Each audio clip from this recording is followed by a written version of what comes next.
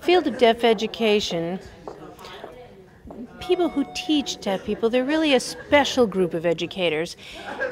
You know, there's a different variety, a different type of student.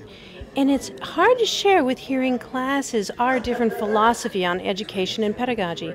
Every two to four years, we have a conference where people come and share their experiences. What works in the classroom? We all have to work together to improve deaf education. Every year in this country, about 5,000 deaf and hard of hearing kids are being identified through the screening process.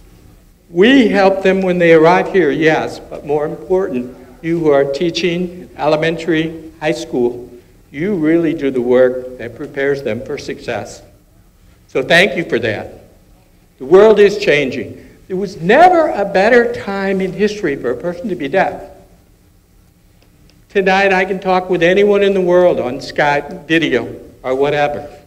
Wow, we have amazing opportunities in the future. We have to take advantage of more of those opportunities. A little something. The activation barrier, the catalyst. Oh, wow. Oh, wow. Um, wow.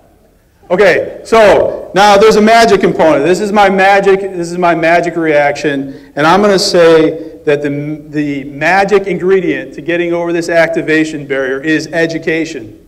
A century ago, Albert Einstein proposed a theory predicting the distortions in the fabric of space-time called gravitational waves.